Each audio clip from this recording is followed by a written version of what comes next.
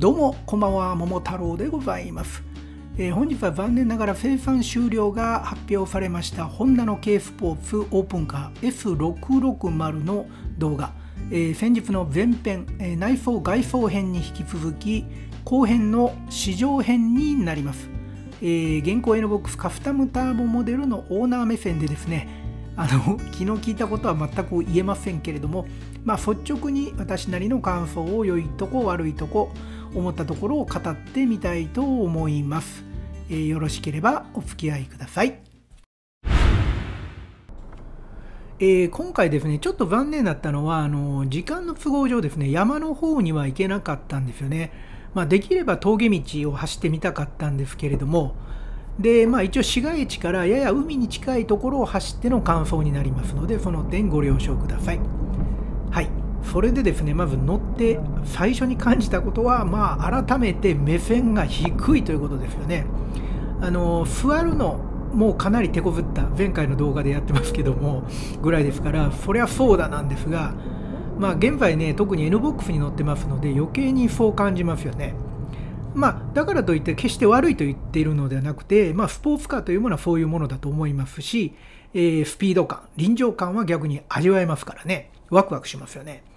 で、ちょっと前回も言ったんですけれども、私昔あの4代目のホンダプレリュードという車に乗ってまして、このプレリュードも結構車高低かったんですよね。なので、やっぱその時の感覚をちょっと思い出しております。まあ、こういう車はとにかくあのどんな車でもそうなんですが、前にいるとですね車がほとんど前方は見えなくなりますねあの例えば信号待ちの時とかで続いて思うのがですねうるさいんですよやっぱり。やっぱりねオープンカーの仕様になってますからね。外の音は結構入ってくるんですよね。でまあここもね別に否定してるわけじゃなくてそれはそうだなんですよ。それはそうですよね。でまあその一方でですね、まあ、ミッドシップレイアウトで、まあ、エンジンが後ろにありますからその音が聞こえてくるというのはすごく新鮮でしたね、えー、私は過去の所有者も全て FF なんでこういう感覚は今まで味わったことはなかったです。でこういう車ってやっぱりねエンジンサウンドを聞くのが王道だと思いますのでこれはこれでいいんじゃないかなと思っております。で一方でねこれルーフつけてオーディオで FM ラジオちょっと聞いてみたんですけどこれね割と良い感じだったですよ、まあ、車内が狭いというかね容量がちっちゃいんで音の回り込みとかがいいのかもしれませんね。意外とあいい感じの音してるなと思いました。えー、それから乗り心地乗り味なんですけど、まあ、まさに私が思っていたホンダという感じですよ。まあ、固めで路面の凹凸はしっかり拾ってくれますね。あのこの感じが好きだったんですよ昔。このゴフゴフ感がね、まあ、最近やっぱり年取ってくるのもあってちょっと変わってはきてますけど。ですからま振動も大きいんですよ。だからあの車内に取り付けている今撮ってるカメラなんかはいつもと同じような感あの感じで取り付けてるんですけど結構揺れますよね。でそういう意味ではですね最近のホンダ車っていうのは本当に乗り味乗り乗り乗り乗り味が穏やかになりましたよね。まあどっちも魅力的ではあると思います、えー、続いて視界の話ですね。はあの前方は非常に見やすかったですよ。特になんか見にくいなという感じはなかったんですがやっぱり後方はかなり厳しいですよね、まあ、窓もちっちゃいのしか開いてませんし。でサイドミラーだけがまあ主に頼りなんですけど特にやっぱ距離感がつかみづらかったですね。まあ慣れの問題もあるとは思うんですけど、まあ、電子ミラーとかついてるといいなとは思いましたね、え、それからあのメーターですね。インパネの。これはね真ん中にまあデジタルのスピードメーターで周りにタコメーターという非常にシンプルなレイアウトなんでとても見やすかったですね。すぐに慣れました。まあシンプルイズベストかなという気がしております。で実際にこう運転しだしてからの操作性の印象なんですけど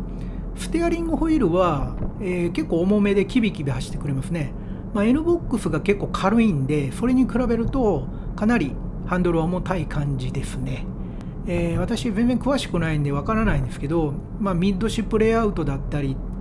えー、まあ、リア駆動だったりするので構造上そういうことなんですかね。それとも味付けスポーツカーとしての味付けなんでしょうか。で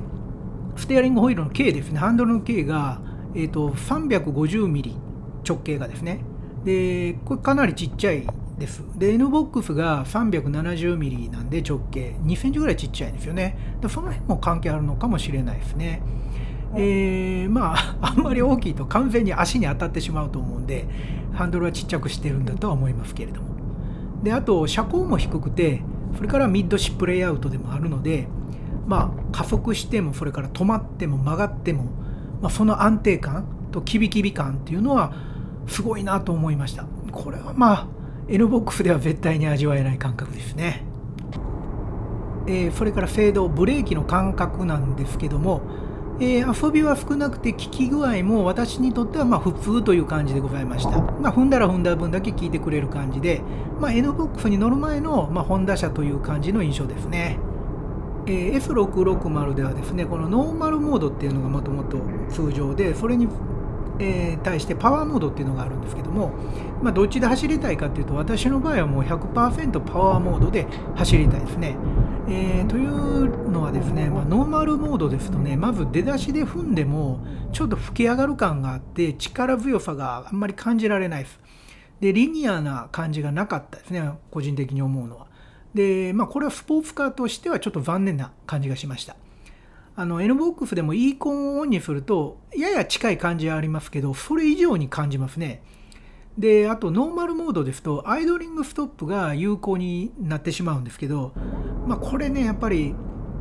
まだあのエンジンがこう止まってくれるときはそこまで気にならないんですけどやっぱりエンジンがかかる時のあの音と振動っていうのは結構大きくてストレスな感じですね。これもね、最近はもうちょっと良くなってるとは思うんですけど、ちょっとやっぱ世代が古いというのが影響しているのかもしれません。で、ターボ付きとはいえですね、あくまで 660cc のエンジンですので、限界はありますよね。ですので、やっぱりパワーモードの方が面白いんじゃないかなと、個人的には思いました。えー、まあ、とは言っても、国内で運転するには十二分だとは思いますし、まあ、逆に言うとこう限界があるのが逆にそのアクセルワークを楽しめるのではないかという思いもしましたね。えー、あとこの S660 のエンジンは S07A というエンジンで、まあ、その後、えー、他の車をフルモデフルモデルチェンジしているんですね、ホンダの軽自動車。で、F07B っていうのが今、大半の軽自動車についてますけれども、えー、このエンジンの完成度が非常にすごく高いと私自身は感じているので、F07B を乗せた F66 に F660 に乗ってみたかったなというのがちょっと思いましたよね。えー、それと今回の試乗車は CVT なんでパドルシフトで遊ぶことができます。で、ここに関してちょっと感じたのは最初のシフトダウン時にちょっとねタイムラグ感とガクン感がありましたね。まあこれもね最近の N シリーズのパドルシフトってより滑らかになっていると思いましたね。まあ、率直な感想でございます。えー、っと、フォロを外すのはですね、この、このレバー、これを、こうか、こうしながら、これを押しながら、こもともとこうなってるんですけど、これをこうしながら、こうしながらこれを曲げるんだよね。ちょっと片手でしかできないんで、今やりますけど、よいしょ。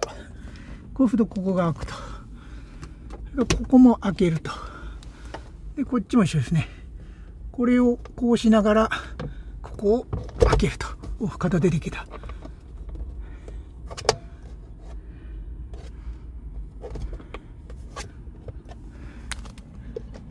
ドア開けないといけないのかなちょっとドア開けましょうか。おい。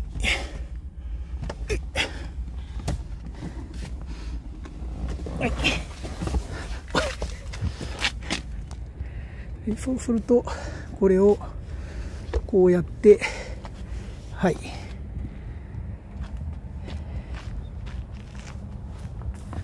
こっち側も、よいしょ。こうやって、はい。これで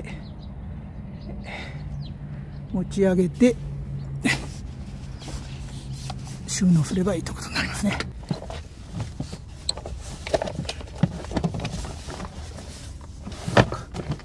はい。こんな感じで収納してでこう閉める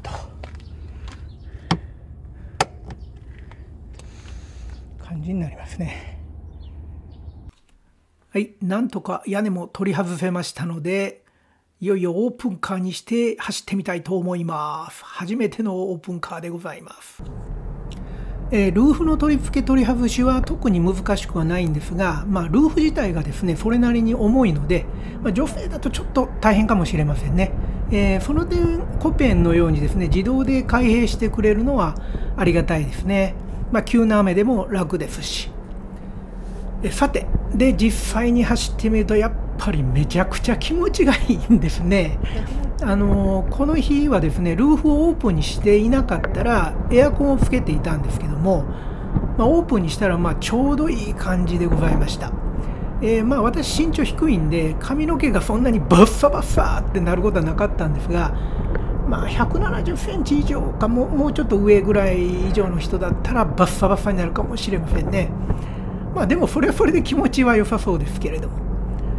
えー、こんな感じというのはですね子供の頃にあの鈴鹿サーキットで乗ったあのエンジンで動くゴーカート。あれ以来のような気がしています、えー、トンネルの中 トンネルの中も入って結構気持ちはいいんですけどね多分顔は汚れてるんでしょうね。まあできればやっぱり空気の良い山あいの道をこう走ってみたいですね、えー、今回ですね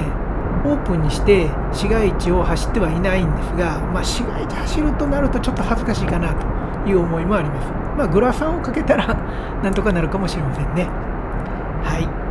えー、ホンダ F660。生活の中で、まあ、便利だったり実用的だったり快適だったりラジバンダリという車ではないんですけれども、まあ、グランプリの鷹とかですねサーキットの狼を見て育った私にとってはですね子供の頃に描いて描いえ子供の頃に描いていた車のイメージは F660 みたいな感じだったなと、えー、N ボックスではなかったなと思いましたですね。ここまでですね割り切ってワクワクさせてくれる車特に軽自動車は非常に少ないと思いますので、えー、今回の生産終了というのはとても残念ですけれどもまた復活してくれることを願っております。はい、本日は以上でございます。最後までご覧いただきましてありがとうございました。次回もぜひご覧ください。またまだの方はチャンネル登録をよろしくお願いいたします。あとブログ、ツイッターもやっておりますので、えー、そちらも見ていただければ嬉しいです。はい、それではまた。